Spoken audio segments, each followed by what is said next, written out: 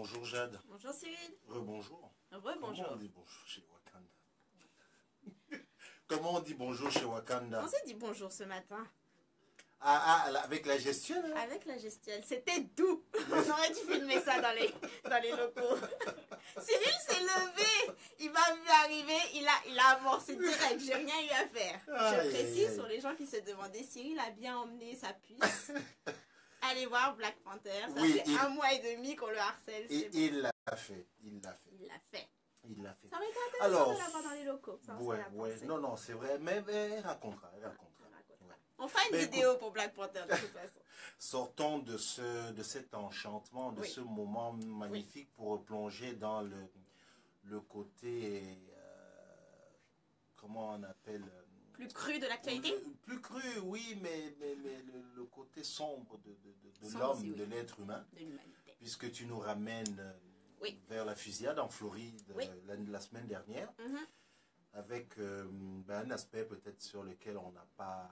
Du moins, on n'a pas insisté. Non, on a insisté, mais j'ai bien aimé comment tu l'as tu as Articulé. ça. Oui, voilà, cette obsession qu'on a euh, après une fusillade, toujours de parler, notamment aux États-Unis, c'est ça, du Oui. contrôle des armes? Tout à fait. Ben, comme tu sais, Cyril, moi, ce qui m'intéresse souvent, c'est les couvertures médiatiques, voir comment la couverture médiatique se fait, généralement très révélateur de la manière dont on aborde un sujet, la manière, dans les angles, en fait, et surtout les angles morts qui apparaissent par un discours médiatique.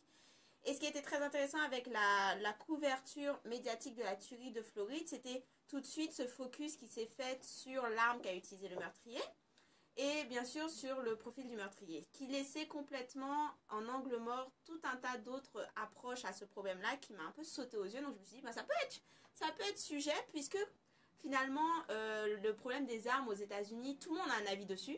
Tout le monde euh, en, en connaît à peu près ce qui s'y passe, à quel point il y a une culture des armes aux États-Unis. Tout le monde a un petit peu ce- cet aspect de cette idée des, des Américains des États-Unis comme euh, obsédés par leurs armes à feu et incapables de s'en séparer. Mhm. Donc je me disais, ben, allons complexifier un petit peu ça, allons complexifier le débat, parce que plus je cherchais sur le sujet, plus j'en apprenais. Donc je me suis dit, on va en profiter, on va en faire une chronique. Donc juste pour remettre le contexte de ce dont je parle, la tuerie a eu lieu le 14 février euh, dans un lycée de, de Floride, Parkland. Euh, donc le, le- le responsable qui a été attrapé vivant, qui est un jeune homme blanc, je précise, euh, se nomme Nicolas Cruz. Pourquoi je précise? Parce que c'est pourquoi il a pu être attrapé vivant. Euh, qui se revendique d'ailleurs d'un groupuscule néofasciste. Ça aussi, c'est une des choses qui a complètement disparu euh, de- du débat et de la couverture médiatique, c'est-à-dire le fait que c'est un homme blanc qui Je a ne veux pas causé lancer un débat là, que tu as, rapport à un propos que tu as tenu. Mhm. qui a causé une, une tuerie, se revendique d'un groupe euh, néofasciste, suprémaciste blanc, ces mêmes groupes qui sont en augmentation dans tout l'Occident actuel, y compris au Canada par exemple, Euh, ces mêmes groupes qui sont responsables de tueries depuis euh, pas mal d'années et qui ne bizarrement est toujours évacué du discours médiatique, ne se voit jamais véritablement appelés terroristes quand pourtant quand on regarde les stats, ce sont eux les responsables des, des- des actes terroristes de ces, dernières, de ces dix dernières années. Facilement, donc ça, ça a été vite écrémé. Et je pensais que ça allait être le sujet euh, majeur. Et finalement il y a eu beaucoup beaucoup plus qui est apparu en fait dans, dans la couverture médiatique de la tuerie de Floride. Donc comme je disais, en fait cette tuerie a eu lieu dans un lycée, a fait 17 morts, euh, choc d'autant plus qu'il s'agissait d'un lycée qui se disait avoir, s'était préparé au maximum pour ce type euh, d'événements, on va en reparler, ce, ce type de tragédie. Malgré ça, il y a eu 17 personnes, qui, qui- 17 étudiants, pas 17 étudiants, enfin, une grande majorité étaient des, étudiants, mais également des professeurs, des staffs du lycée qui sont décédés. Et on pourrait se demander comment se fait-il qu'un lycée puisse dire on était prêt, malgré ça, il y a eu des victimes. Parce qu'il faut bien comprendre qu'aux États-Unis, les mass shootings, c'est vraiment quelque chose. C'est-à-dire, pour vous donner une idée, entre 2000 et 2015, il y a eu 133 mass shootings aux États-Unis. 133 par rapport au Canada, il y en a eu 3 dans la même période, et en France, il n'y en a eu qu'un seul. Ok? Donc, c'est pour vous montrer l'ampleur du phénomène que représente le mass shooting et l'ampleur, on va dire, de la, de la menace on compte, avant 2010, en fait, aux États-Unis, il y avait un mass shooting à peu près tous les 6 mois. Depuis 2010, entre 2010 et 2015, il y a eu un mass shooting à peu près tous les 2 mois. Donc, par- pendant qu'Obama était président, par exemple, il y avait un mass shooting tous les 2 mois. Euh, c'est dire aussi, il y a des mass shootings. Il y a par exemple celui qui a probablement le plus choqué les consciences américaines, états-uniennes, ça a été celui de euh, Sandy Hook en 2012, qui était une école primaire. Donc, le- la, la vingtaine d'enfants qui a été tué Non, je avait entre Mm. 5 et 6 ans. Oui. Et pourquoi je parle de Sandy Hook? Parce que suite à la tuerie dans cette école primaire, beaucoup avaient dit ben ça c'est l'événement qui va changer les choses. Je veux dire, si on voit des corps d'enfants de 5-6 ans tués par balle, ça va avoir un impact, il va y avoir un changement de législation par rapport à, l'accès aux armes à feu. Et rien ne s'est passé. Donc à partir de là, il y a eu entre guillemets, dans la couverture médiatique en tout cas, il y a eu un, avant-après 2012 parce qu'il y a eu cette espèce de cynisme qui s'est emparé en fait du discours un peu mainstream. Si des enfants de 5-6 ans meurent et ça ne change rien aux lois, rien, rien ne le fera. Donc on arrive un peu avec ce, ce mass shooting en Floride où tout le monde se dit encore un, on va envoyer des prières, des pensées, puis on va passer à autre chose. Et ce qui se passe, c'est qu'actuellement, ce sont les étudiants qui vont à- au devant du mouvement, qui continuent à, vouloir les changements, donc qui, vont, euh, qui font les défilés, qui vont euh, à Washington, qui interpellent bien fortement euh, Trump sur, euh, sur Twitter. Donc là, c'est un mouvement qui, va, qui a shifté, c'est-à-dire que c'est un mouvement qui est porté par les étudiants. On en reparlera un peu plus. Donc ça, c'est pour vous donner euh, l'idée. Et surtout, la couverture médiatique, donc, c'est focusé sur l'arme qui a été utilisée, parce que c'est également la même arme qui a été utilisée à Sandy Hook, c'est-à-dire une arme semi-automatique. Et ce qui s'est passé, c'est que pour notamment faire avancer la demande de bannir les armes, notamment les armes semi-automatiques, qui sont défendues. Il faut comprendre qu'aux États-Unis, le droit de porter des armes est inscrit dans la Constitution. C'est le second amendement. Mhm. Toute personne a le droit de porter une arme et de défendre sa, sa famille et sa propriété. Donc ça, c'est vraiment inscrit. euh, C'est vraiment le cas unique des États-Unis dont on parle par rapport au rapport des armes. Donc il y a ce, ce droit qui est inscrit dans un second amendement. Mais comme je l'ai partagé sur la page Facebook, beaucoup de gens attirent l'attention sur le fait que euh, quand ce second amendement est passé, donc en 1791, les armes tiraient une ou deux balles par minute. Aujourd'hui, on a des, des armes disponibles en vente libre aux États-Unis qui peuvent aller jusqu'à 600 balles par minute.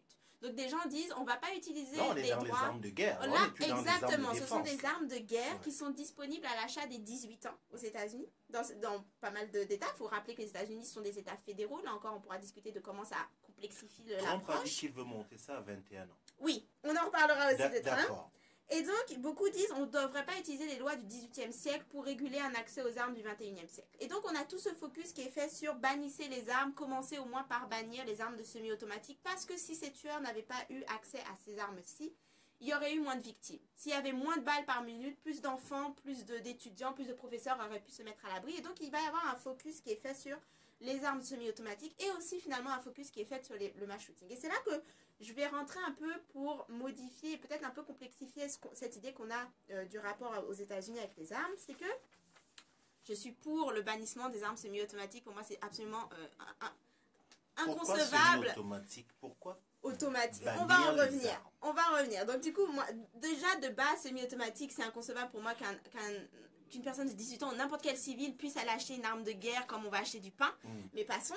Mais en tout cas, en fait, ce qui se passe, c'est qu'on a ce focus sur les mass shootings. Pourquoi? Parce que ce sont euh, véritablement des, des moments spectaculaires, c'est-à-dire se donnent en spectacle, sont filmés, partagés sur les réseaux sociaux, font la une des médias, choquent aussi pour le nombre de victimes en très peu de temps et pour le côté n'importe qui peut être victime Peut être de mass shooting, il n'y a pas de, de Mhm. déplace. Ce qui est à complexifier encore une fois. Pourquoi? Il faut déjà comprendre que les mass shootings aux États-Unis, c'est 4% finalement des victimes de violences par arme à feu par an. 4%, c'est-à-dire c'est un les mass shootings qui, comme je vous l'ai dit, 133, c'est c'est énorme les, les statistiques que je vous ai données. Mais pour vous montrer, en fait, c'est pas les États-Unis n'ont pas un problème de mass shooting ou pas tant que ça. Ils ont Ça un problème d'armes à feu. Que 4% de Exactement. tueries par arme aux États-Unis par Exactement. an. Les États-Unis ont un problème, non pas de mass shooting Oui, ou oui, d'armes à- semi-automatiques, ils ont un problème d'armes à feu. Ils ont un problème par rapport à la violence causée par les armes à feu, à tel point que les mass shootings, en dépit du fait du nombre de victimes que ça cause, c'est 4% par an. C'est-à-dire qu'aux États-Unis, par an, il y a 10 000 personnes tuées par arme à feu, donc homicide, 20 000 suicides, on en reparlera également, et au, au total, par an, on a plus de 100 000 personnes qui sont blessées, parfois jusqu'à la mort, tuées par arme à feu. Donc c'est énorme. C'est d'autant plus énorme que ça dépasse tous les autres pays occidentaux, quels que soient les pays que vous, que vous, que vous cherchez. Il faut bien comprendre que par an, le nombre de morts par arme à feu aux États-Unis dépasse, par exemple, entre 2010 et 2013, le nombre de, de personnes qui sont mortes par les armes à feu dépasse, combiné, le nombre de victimes du sida, le nombre de victimes de drogue, de- de- d'overdose de, drogue, le nombre de victimes faites pendant la guerre en Irak du côté des Américains, hein, pas du côté de leurs victimes, plus le nombre de victimes de terrorisme en comptant 2001. Donc vous prenez toutes ces victimes et malgré ça, il y a plus de morts avec armes à feu. C'est pour vous montrer l'ampleur du problème aux États-Unis. Et également, et c'est d'autant plus quelque part cynique, choquant et triste, c'est que si vous enlevez les mass shootings, c'est que si jamais vous bannissez les armes euh, semi-automatiques, automatiques qui font autant de victimes et que ça annule complètement, on va dire, diminue drastiquement le nombre de mass shootings par an, ça changerait pratiquement rien, Rien. au nombre de victimes par feu. ça ne change rien. Exactement. Et c'est là pourquoi, pour autant qu'il faut comprendre pourquoi il faut complexifier le rapport qu'on a et surtout la couverture médiatique. C'est que, et là, il faut bien comprendre, le problème d'a- d'armes à feu ne peut, pas être ne peut pas être considéré sans prendre en compte également les rapports raciaux aux États-Unis. Pourquoi je dis ça? Parce que quand on prend le nombre de victimes d'armes à feu, la grande majorité des victimes sont des hommes noirs. C'est-à-dire que les hommes noirs, c'est 6% de la population des États-Unis, mais par jour, il y a 30 victimes de- d'armes à feu et 15 d'entre eux sont des hommes noirs. Donc, 50%. 50%, alors que c'est 8% de la population des États-Unis. Mais, mais, et c'est ça qui est intéressant, intéressant dans le sens euh, tragique et trash, c'est que les couvertures médiatiques vont se focuser sur les mass shootings dans des écoles qui arrivent majoritairement dans des écoles à, majo- à majorité étudiante blanche, blanc, donc population estudiantine blanc. Parkland, par exemple, c'est une communauté plutôt riche, même assez riche en fait, au sein de la Floride. Donc il va y avoir cet élan massif de soutien, bien sûr, et ce choc qui est tout à fait légitime, il ne faut pas hiérarchiser les victimes, mais malheureusement, il y a cette hiérarchisation des victimes, c'est-à-dire qu'on va être choqué par un mass shooting qui arrive dans une école, mais on va pas être choqué par la violence des armes à feu au quotidien dans certains, dans certains quartiers, majoritairement quartiers noirs, avec le nombre de victimes qui touchent beaucoup plus des écoles où il y a une majorité d'enfants des, euh, noirs racisés. Pourquoi je dis ça? C'est parce que j'ai vu énormément sur Internet des partages disant vous parlez de violence des populations noires, mais nous on commet pas de mass shooting dans nos écoles. Et, et ah, quand j'ai vu ça, je vais Hi, c'est pas qu'on commet pas de mass shooting, c'est que nous, enfin dans les écoles où il y a majorité noire, la violence des armes à feu ne se traduit pas par mass shooting, mais elle est au quotidien. Au il y a un accident par arme à feu tous les jours.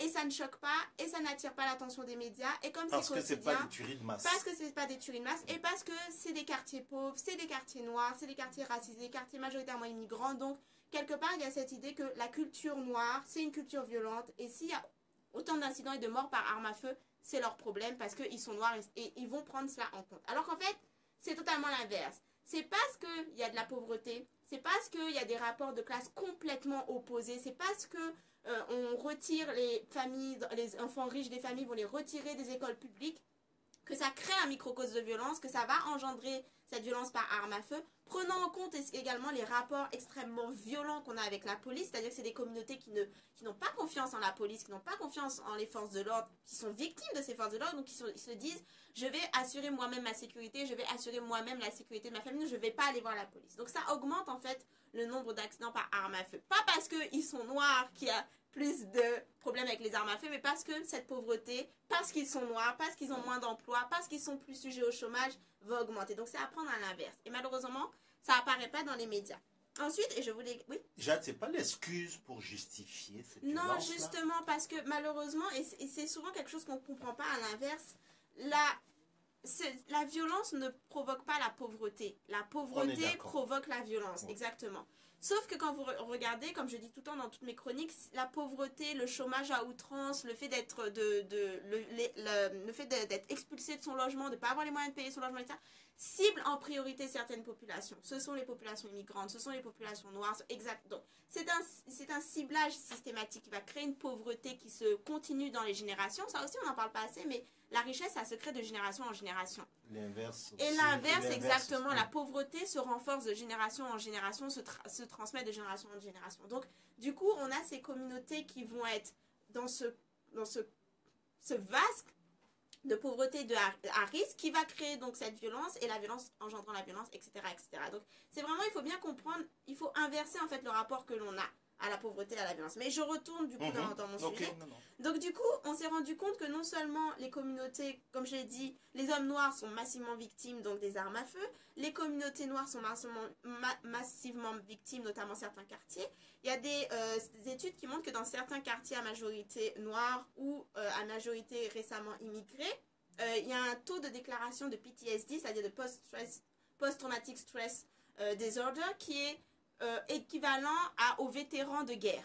Donc, c'est-à-dire que dans certains quartiers, ils ont tellement l'habitude d'entendre euh, les armes à feu, euh, sont tellement l'habitude d'être choqués par les armes à feu que le- l'impact psychologique sur la santé mentale équivaut à quelqu'un qui est allé en guerre et est revenu. Donc c'est pour vous montrer le, le- À ce point-là. à ce point-là. Mais ça fait pas le- la couverture médiatique. Non, c'est Pourtant, pas à la télé, ça fait pas. non, et, on- et, et ce n'est pas les armes semi-automatiques qui causent le plus de problèmes dans ces quartiers-là, c'est les, les armes à, à main, finalement. Ah, handgun, je connais pas trop euh, les, les, les Non, termes mais là, tu, en tu en français. connais même plus que moi. Moi, c'est mi-automatique, Ouais. arme à point. euh, Mais il y a des programmes qui ont été créés pour aider, notamment un programme Ceasefire qui a commencé en 1996 à Boston, qui est un programme qui demande en fait, on s'est rendu compte que le nombre de cas de tuerie par arme à feu, c'était pas, on, on- on dit tout le monde a une arme, donc tout le monde se tire dessus, alors qu'en fait c'est une minorité qui vont avoir des armes et qui vont en avoir beaucoup et qui vont être, qui vont euh, être dans ces règlements de compte euh, de la culture de, de, de, de rue, par Mm. exemple, aussi malheureusement gang euh, relatif.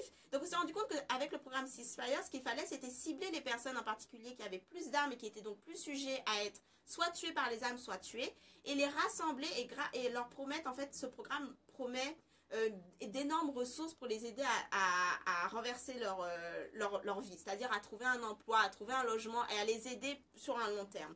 Je, je simplifie énormément parce que c'est un programme beaucoup plus complexe, mais c'est un programme qui à Boston a fait chuter de 40% le nombre de morts d'armes à feu en un an. À tel point qu'on l'appelait le Boston Miracle et que plusieurs autres villes l'ont suivi, notamment Stockholm, euh, Indianapolis. Stockholm c'était 42%, Indianapolis 34%. Stockholm, pas Suède. Hein. Non, Euh, Stockholm, les États-Unis. ouais, ouais. Et en fait, c'est un programme qui a fonctionné des années 96 à 2000. Le, pro- le problème, le programme Ceasefire, c'est que ça demande beaucoup de budget, Ouais. d'argent, Mhm. et ça demande l'investissement euh, de pas mal de représentants de euh, public, Mhm. notamment aussi l'investissement, on n'en parle pas assez, mais l'Église noire américaine très investie dans ces communautés qui, amène, qui mène le- de front ce programme de Ceasefire. Et c'est un programme qui malheureusement, en fonction des élections, des réélections, et surtout parce qu'il ne reçoit pas assez d'argent des programmes publics, Ne reste pas pas être suivi, Exactement. Obama, malheureusement, n'a pas demandé suffisamment d'argent. Et même lorsqu'il en a. Là, je crois qu'il avait demandé 75 millions pour pouvoir investir dans ce programme-là. Il en a reçu 35 millions. Euh, malgré le fait qu'il a vraiment appuyé là-dessus, et 35 millions, c'était pas suffisant. Donc, c'est pour vous montrer qu'il y a quand même des, des, des programmes qui ciblent ces violences-là, mais qui, comme ils ne correspondent pas à ce qui émeut la population, parce que ce sont des populations noires, parce que ce sont des populations pauvres, ne reçoivent pas le même soutien, ne reçoivent pas le même entraîne et ne reçoivent pas l'intérêt du concret. Donc, ça, c'est pour vous montrer également comment il faut bien euh, complexifier la chose. Autre détail également, c'est qu'une grosse majorité des victimes d'armes à feu aux États-Unis sont des victimes de ce sont des personnes qui commettent un suicide. Et là, c'est très intéressant parce que souvent, il y a cette idée qu'une personne qui veut se suicider va toujours trouver un moyen de se suicider. Et là, j'arrive et je dis en fait non.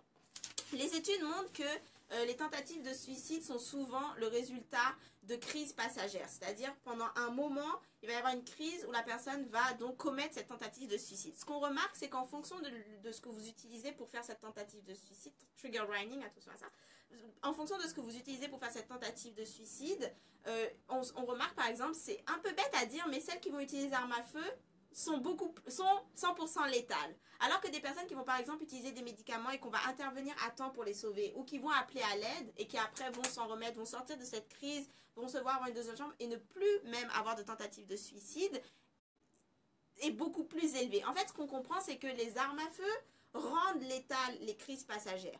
On a, on a des études qui montrent comment une dépression dans une maison où il y a une arme à disposition est, est 100 fois plus dangereuse qu'une personne qui fait une dépression où il n'y a pas d'arme à la maison. Parce que la personne qui fait une dépression peut avoir une, crise passagère, prendre l'arme à feu et se tuer. Alors qu'une personne qui peut avoir envie de se tuer va parfois tenir ou ne pas utiliser les moyens qu'il faut et donc réussir à s'en sortir et recevoir de l'aide.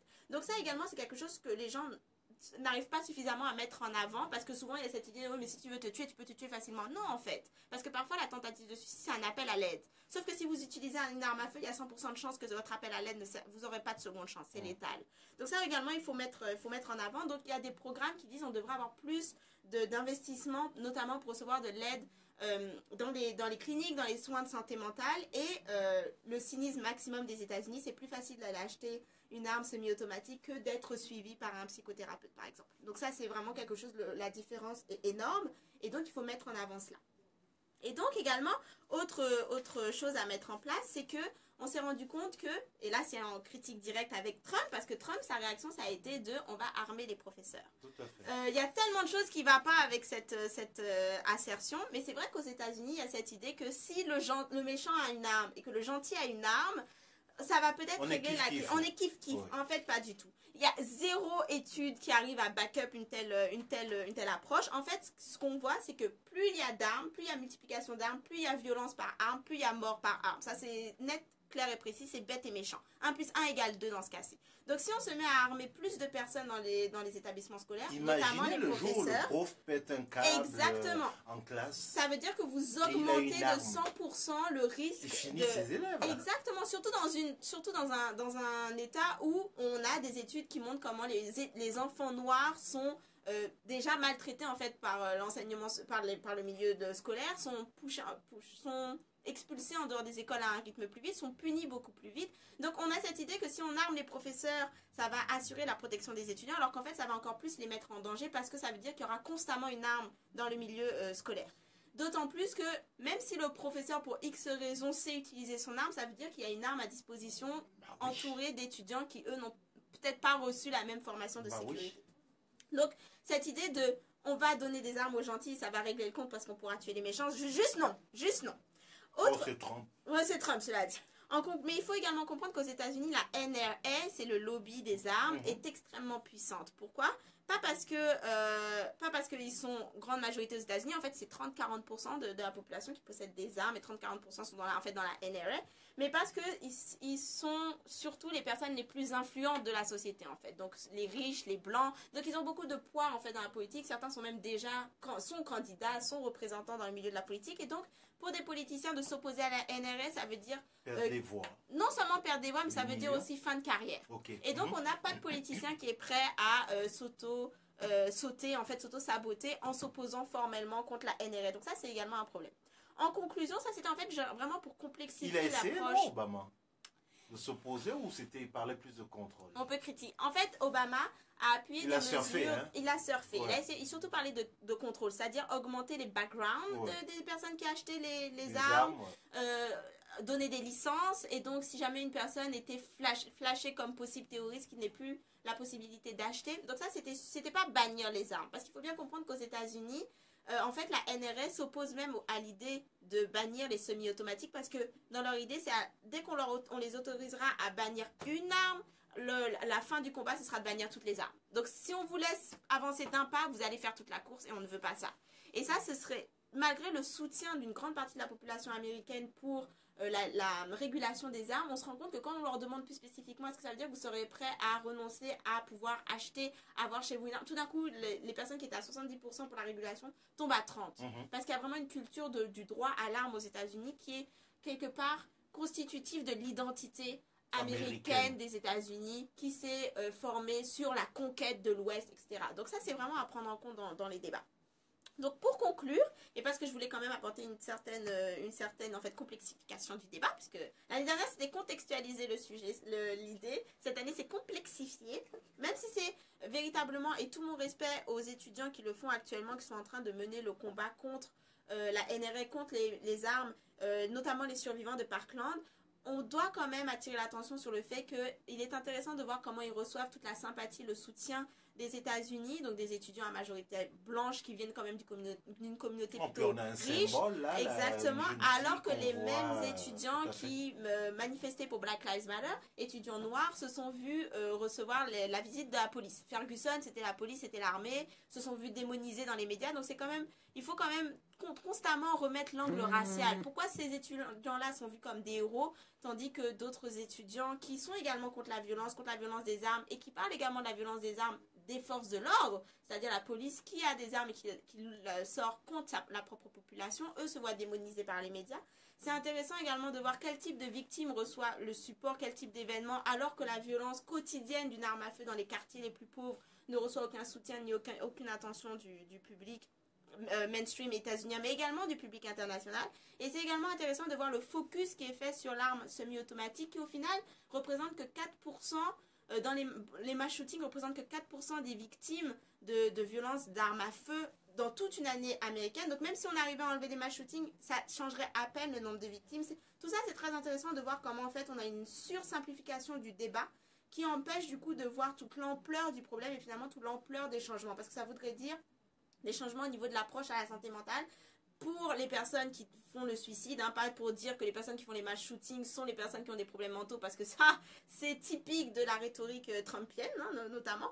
Donc, euh, il faudrait plus d'investissement pour les personnes qui ont des dépressions, des, des- de tentatives de suicide, plus d'investissement dans les quartiers les plus pauvres, plus d'investissement pour contrer la pauvreté, plus d'investissement euh, dans les milieux scolaires, pour qu'on ait un véritable impact de changement euh, face à la, euh, en lien avec la violence des armes à feu et des États-Unis. Trop complexe, Jade. Ça va devenir ta réponse cette année. Non, non, non. Trop complexe. Non, pas trop complexe ce que tu as dit, mais Mhm. cette volonté de, Oui. de, de faire, c'est trop complexe pour ces gouvernements ou ce gouvernement ou les dirigeants et pour on n'a pas le temps. C'est ça. Apparemment, ça l'était pour Obama et on, on s'attend pas à ce que ça le soit pour. C'est euh, c'est pas pour Trump que ça, ça le sera. Voilà. Tu l'as dit, cette année on est parti dans la complexification. Complexifié. Me- Merci beaucoup à toi, Jade. Je t'en prie, Cyril. Euh, on se dit à, À la semaine à la prochaine. semaine prochaine.